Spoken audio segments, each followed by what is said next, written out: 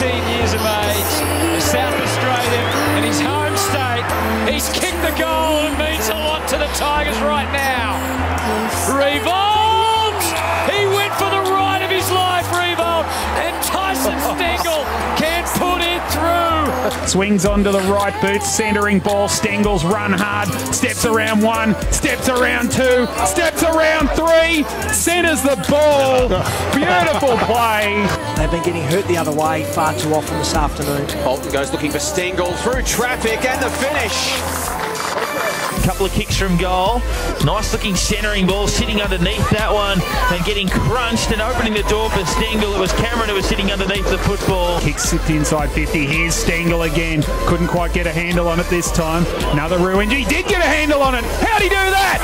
Another one. Only Tyson Stengle.